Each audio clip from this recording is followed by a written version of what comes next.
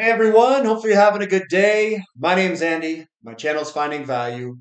Uh, today we're going to go through Twitter like we normally do in the mornings. Um, I'm going to interject my financial opinions uh, as we go through it, generally related to three different topics wealth building, commodities, and financial topics uh, is what we're going to cover. And we can dive right in and see what people are sharing on social media. And I'm also sharing a couple of things on there as well that we will go over.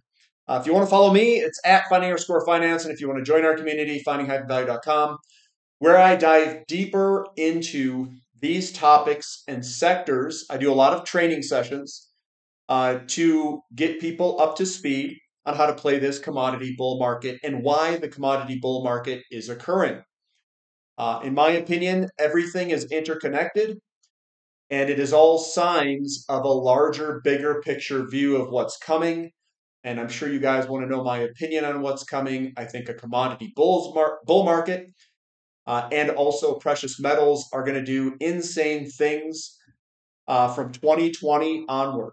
That's when I got incredibly bullish on commodities. So we do have a coupon code Mayday that is still going on. And if you're a monthly member and want to switch to a yearly membership, you can also enjoy further savings uh, by using that disc, uh, discount coupon code. But coming down, we've got emerging markets looking well positioned. So this is something that I posted. We've got the three hump consolidation that I usually talk about and a potential breakout. Well, we are breaking out uh, of a double bottom here in the short, short on the shorter time frame. What does that mean? When does emerging markets break out? Um, that's the question all of you viewers should be asking. When does emerging markets do well? When the dollar falls, when the DXY falls, when the Canadian uh, dollar outperforms the US dollar, and we can yank up all of these different charts. And you know what they are suggesting? They are suggesting that we could see the dollar fall. Uh, doesn't mean it will happen immediately because sometimes we see money flows um, go into these assets before the actual outcome of the dollar falling. It's it's money positioning before that occurs. Uh, so we are tracking big money, you know, money movements in the markets uh, that are large enough to make the markets move, and we're tracking those money movements with these charts. And if you have enough experience to know what does well under certain market conditions, then you kind of can paint a picture of where we're at in the cycle, what interest rates could potentially do uh, on a probability standpoint. Um, nothing's 100% set in stone, but we could say, you know what, the dollar's probably going to drop based off of positioning in the market. They're probably printing a lot more money, uh, even though that may, you know, we might have a delay in seeing it in the data.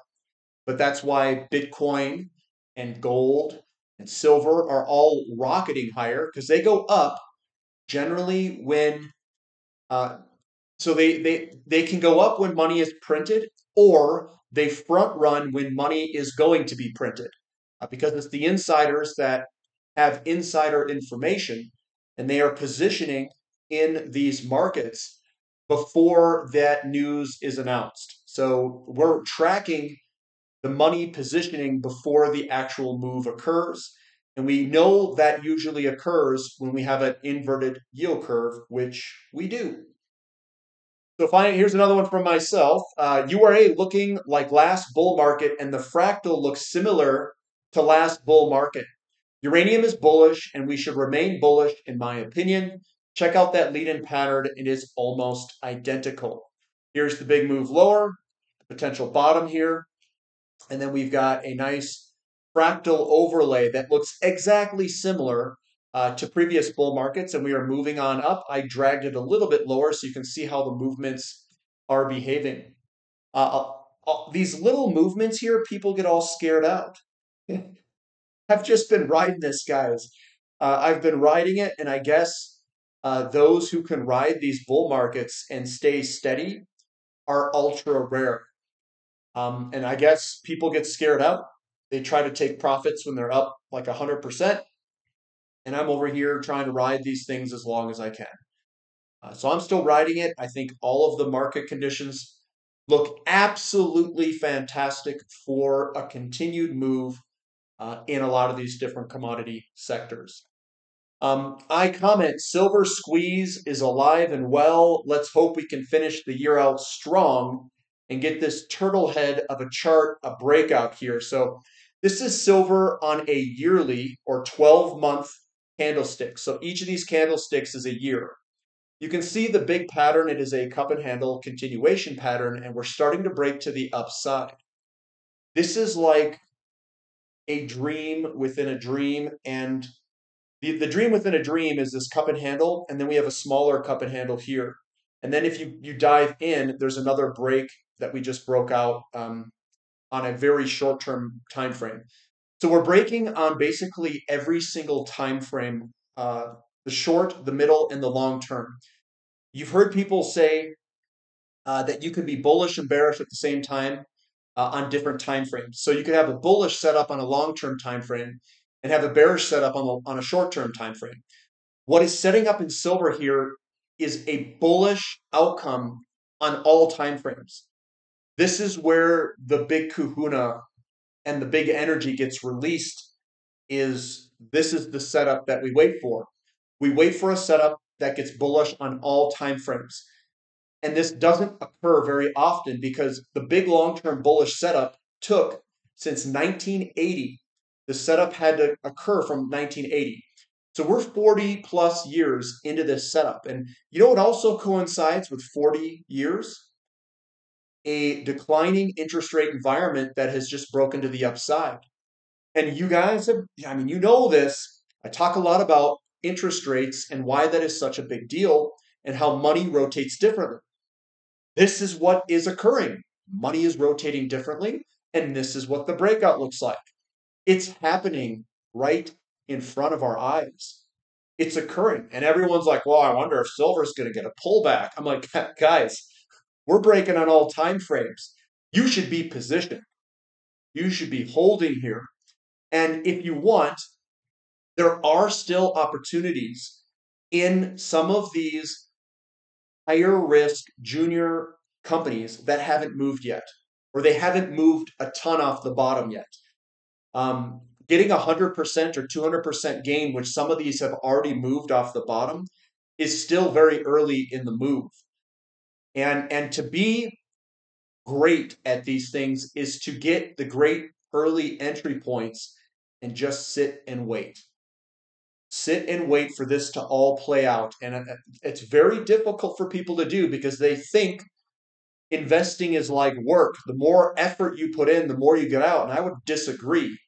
Uh, it's about it's it's about playing a game of chess. It's about positioning first for the ultimate move that's to come. And you have to have patience. You have patience here where it's like, you know what? I've been positioning in silver for a while. I purchased the living crap out of silver's bottom in the physical market and platinum as well. And people were calling me like, platinum hasn't done anything for 14 years. I'm like, yeah, you're not that smart then because you gotta, you have to position when everyone else hates it. I was going in and buying this stuff with premiums that were just nothing silver and platinum. And then I sat and I waited, and guess what? It did take years. It did take four, five, six, seven, eight years. But I've got a freaking, you know, a, a, a huge vault of this stuff, so to speak. And now we're breaking out. It's all playing in, playing out in front of our eyes. So I think this is going to be a this is going to be ridiculous move here. It's going to be ridiculous. A major crossroads seems important. The DXY, I'm talking about when emerging markets does well, the dollar drops. It's all interconnected. The dollar dropping is going to send precious metals priced in dollars higher. It's all interconnected. And here's the DXY where we could get a breakdown in the shorter term here. You know, this is 2024 where we could get a breakdown here. It hasn't occurred yet, but guess what's occurring? people are positioning for that exact outcome. Even uranium priced in dollars and these equities, if we get a dollar drop, all of these commodities are going to rip. Think of it as 2002. The Canadian to USD is also squeezing up. Not saying it's broken out yet, but it's squeezing up. Here's Bitcoin on the move this morning. It's not Bitcoin moving up, it's the dollar dropping, and people are moving into these assets to protect against the dollar. Go check gold in any other currency, it's just ripping it. The dollar is next, in my opinion. And we can see a lot of these assets just absolutely rip in terms of dollar value. Moving on down, invest in the blue countries when I would say Calvin is exactly right. So this is the state of global fertility, fertility rate by country in 2021, which is births per women. And wherever there's large population growth, that's where you want to be positioned because you're growing in those countries. You're growing your loans, you're growing your um, houses that need to be built. Uh, your economy is growing, and everywhere else, it is not growing. That's why Japan's housing market and their economy has gone down since the 1990s. It's their demographic. They just don't have that demographic to, to grow into. So that's what it's all being driven by. This is your leading indicator. And you can be 30 years early on this. You've got 30 years because generally, generally speaking, when, when you go into first time home buyers, you need to see the demographic bulge at that 30 ish age range. Now, some countries are earlier, some countries are later. We're later in America. We're more like first time home buyers are 36 years old, I think. It could even be later than that now. But that's what it was a few years ago when I looked at it. So the we're right in the thick of a big demographic buying homes, ha- starting families, and uh, increased demand to buy all the crap that needs to go in the home. Um, oil doing a retest before surging higher. Do we have a final retest still to do? Uh, gold generally leads oil by 18 to 19 months. Looks incredibly bullish to me. Uh, here's oil one, two, three. We got the circle one, two, three. We've got the circle there that's ready to rip. Um, gold, which is our leading indicator of liquidity, is ripping. Uh, you can see it broke out there. It broke out in, it bottomed in October of 2022. So we're getting really close to that window here for oil uh, to take off, and nobody wants oil to take off because that is what translates this liquidity. Uh, it goes through oil, and then it goes and translates into the consumer price index, and nobody wants that. So you're, what you're going to see is you're going to see the producer price index go up first, then you'll see your consumer price index go up next, uh, and that's all filtering through the system right now. Looks absolutely beautiful there. Mike Zaccardi says gas prices deflated by average hourly earnings are about where they were in 1991. Uh, unchanged from 2004, down 50%, from July 2008 high, down 30% from 10 years ago.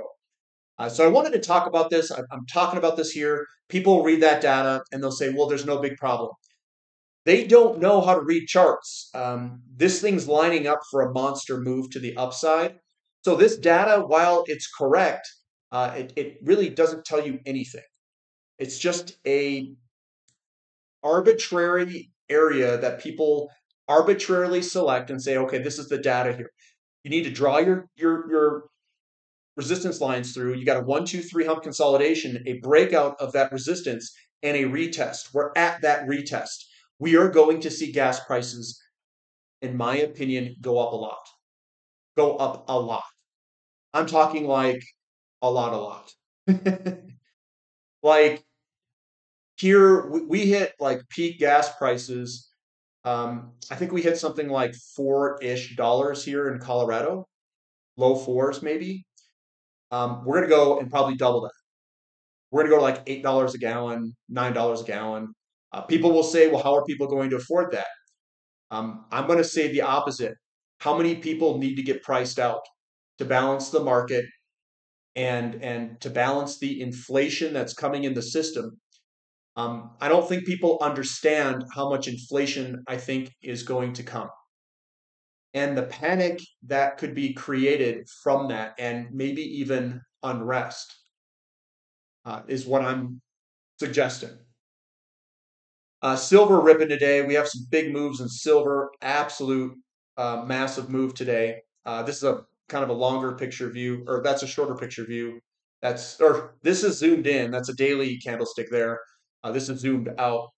Um, it's hard to believe that the daily candlestick is that big. uh, but yeah, silver's looking really good. Uh, we've got Market Sniper here. He's posting the gold to silver ratio. Says there will there will be those that know not to short silver into the post XAU XAG trigger and subsequent gold silver ratio likely disorderly decline. And those that will find out. Uh, the GSR of 65 comes up sooner than many expect, is our prediction, uh, all the way down to 65. Uh, so, what does that mean? What is 65 ratio? So, if gold's, I'm just going to use 2400 as a gold price. We're bringing out the calculator, guys. Uh, so, it's 2400 divided by 65. That means a silver price of 37 bucks is coming quick. 37 bucks. It's about five ish dollars, a little more than five dollars away. That's what's coming, in his opinion. We've got a game of trades. Japan's population has now been contracting for almost 15 years. At the same time, number of vacant homes there has risen significantly, now reaching 9 million mark. At this rate, Japan's demography poses long-term sustainability risks for their economy. Correct. When your population declines, you get a declining real estate market. When your real estate market declines, you get falling tax revenues, you get um, falling home prices, and you have falling credit expansion in the system. Uh, so all of these systems are basically designed for inflation. Uh, they want higher tax revenues, uh, higher property taxes, um, increased spending, etc., etc. You've got this system that must and it must grow Otherwise, you get a debt to GDP problem, and then the system starts to collapse. And Japan is probably just further along uh, in that collapse of their currency system and the way that the system is designed, because the design of the system is built around a growing population, not a declining population. Uh, investment wisdom never fall in love with a stock always have an open mind. I think Peter Lynch must be talking about a hotter stock uh, that he's found in the market, uh, maybe one that's got better value. Uh, but never fall in love with the stock is what he says. Don't ever marry it. Um, I guess you just date it. Always have an open mind. And hopefully, you know, I don't know exactly what he's talking about here, but uh, Eric. So Eric says Goldman, under no scenario will the demand for oil in 2040 fall below current levels. With peak shale looming in the next several years, this has a profound read through to the value of low decline, long life inventory like Canadian oil sands, liquid rich Montney, Duvernay. Um, I am exactly in those uh, investments. And again, guys, if you want to know what those investments are, um, you can sign up to the to the community there in the website but we talk about those. I chart them. I we talk about them all the time in the Discord channel that we've got about the potential opportunities that are coming ahead of us. Um, this here is the EV slow adoption case implies oil demand increasing towards 113 million barrels per day by 2040 uh, is the estimate. Wow, that's a big move to the upside. And the EV slow adoption is this top line here. And I think the people who are pushing the EV, you know, adoption where we're just going to adopt everything like Cathie Wood, they're going to be really wrong. Really, really wrong. Warren Pye says, here's an overly simple rule, stock market rule that's worked for a few years. Long the S&P 500 when oil is less than $90 a barrel. Cash when oil is greater than 90 a barrel. Since 2021, this rule of thumb has kept all drawdowns contained and captured the most upside. Oil drives inflation vibes expectations. I totally agree with that. And that's the strategy that he um, kind of lives by. But what if oil goes way up? might take some might take some years still, but I think oil is going to go way, way, way up. Uh, I totally agree with Calvin here. He says learning monetary history is in itself an act of rebellion. Uh, the more you dive into money and history, it'll just blow your mind. You'll you'll you'll blow your mind at just how corrupt politicians and governments are, and and then it, everything makes sense. Uh, they're not going to teach this in school, like high school or even college, because uh, it's pretty nasty when you start looking into it. And then if you can start reading chart patterns and seeing kind of how money flows before news comes out, then you get even worse off because you're like, wait a minute, how did everyone know before these things occurred that that that was going to occur? Like like people had insider information before these big events occurred, which then makes you think it's like, wait, how did they have insider information before the events occurred? Which means the events were planned. And then you say, okay, well, how did they?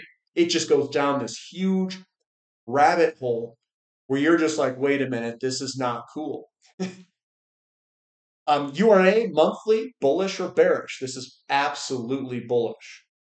If this, if anyone says this is a bearish chart, they need to get slapped. They need to get slapped. Uh, behind every stock, there's a business. What's behind crypto?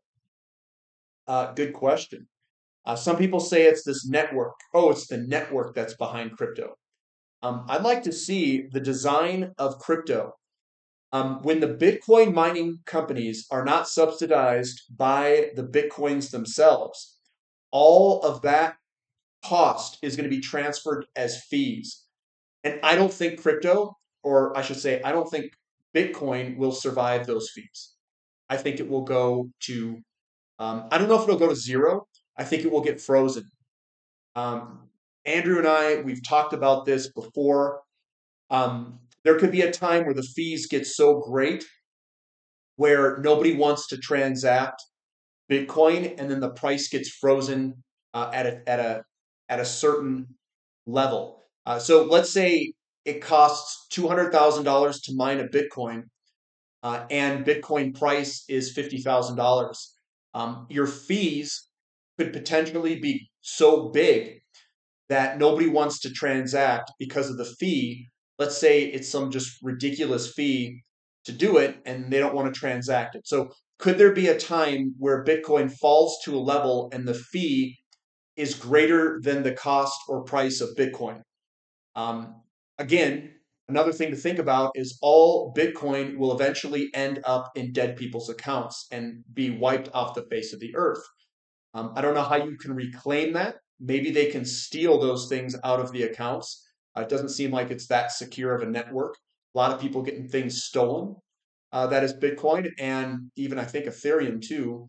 I hear a lot about people getting you know things stolen. So I don't I don't know what's going to occur.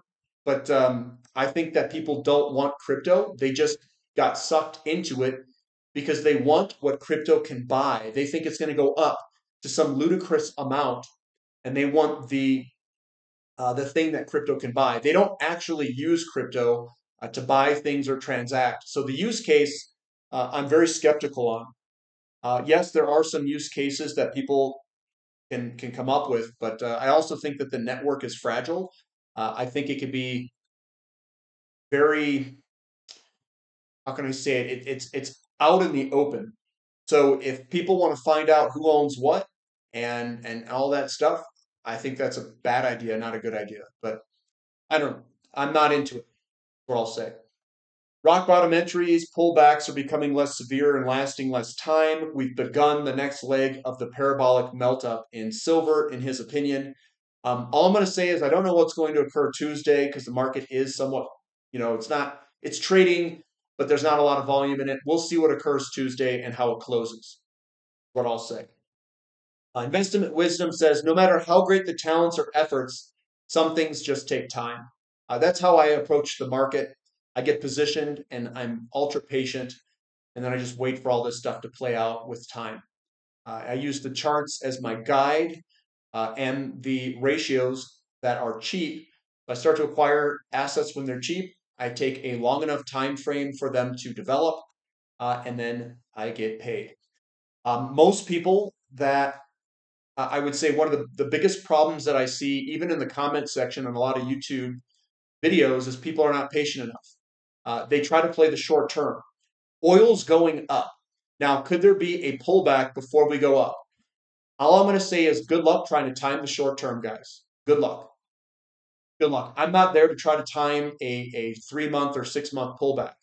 Then you're going to say, well, that's an opportunity wasted. And I'll be like, okay, your returns against my returns. What I'll say. Can you actually materially gain from that market movement and beat other market players? Um, I can just say this how many billionaires are on um, how many billionaires are short-term traders the most successful trader jesse livermore they that's who they attribute to be the most successful uh, trader uh, what he had to do is he had to adopt a longer holding period to, to be as successful as he was uh, but uh, buffett i think would absolutely wax him because Jesse was more or less, if, if you read his books and you read kind of the history on him, was more or less a gambler. So he made a ton of money, lost it all, made a ton of money, lost it all, made a ton of money, lost it all. And, and that's your best trader is losing all your money. So basically, he piled on bets. He was right some of the time and then lost all his money. Now, the people who have been right and have really made money in a long, sustaining way have been Buffett, uh, Peter Lynch, and all these kind of types. Stanley Druckenmiller is another one. And they're all long term, well, not, maybe not Stanley Druckenmiller, but some of these guys are long term investors. So what they're doing is their holding period is longer than the cycles, the, the short term cycles.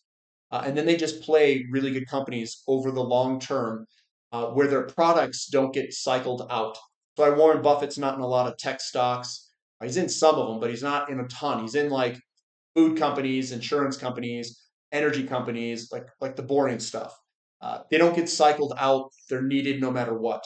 So he just plays them over all of those different cycles. So that's kind of what he does and how he's made all his money. And he hasn't gone really broke like some of these traders are. So I'm not, I don't adopt the trading mentality uh, I think it's a loser mindset, in my opinion, to try to trade the very short term mindset because it doesn't work. That is what I've found, and that's what I've seen uh, when looking at history and who's been successful and unsuccessful. So if you look at the shorter time frames and look at the statistics, if you see day traders, they almost all lose their money completely. Then you start increasing your time frame uh, you go to months, you go to years, you go to decades, and the success of those people as you lengthen your time frame goes up and up and up and up. So I try to adopt as much as I can uh, but with the statistics and background that I've researched to try to implement it into the strategies that I am adopting and, apply- and applying to the market. So the precious metals, uh, the boiling water advisory says at 211 degrees Fahrenheit, water is merely hot, uh, steaming as it simmers quietly on the cusp of a transformation. Yet at 212 degrees Fahrenheit, a mere one degree difference ushers in an intense transformation. Water begins to boil, uh, releasing powerful steam capable of powering a freight train. It's that one single degree that makes all the difference, a tiny shift that marks a powerful change. There's no going back. Gold is hitting the boiling point. Gold just hit 24, uh, $2,400 per ounce, marking yet another record high for the metal this year. It is up nearly 15% year to date, and since January 2023, it is up 30%. So it's really ripping to the upside there. Nice little retest on top there. Um, so that looks fantastic. Silver is following it. Same with platinum. Platinum's going to rip too. Um, here's Kevin Bambrough. He says, I totally agree. The precious metals breakout is a sign of currency failure, and the move isn't going to be small. People have been brainwashed to take nearly all their savings and give it to bankers and brokers, and mostly in a 60 40 stock bond portfolio as they age. The result of decades of this marketing is that the stock market has become obscenely valued. All risk, little reward. The panic into precious metals that will follow this fiat bubble blind investing era will send metal prices skyward.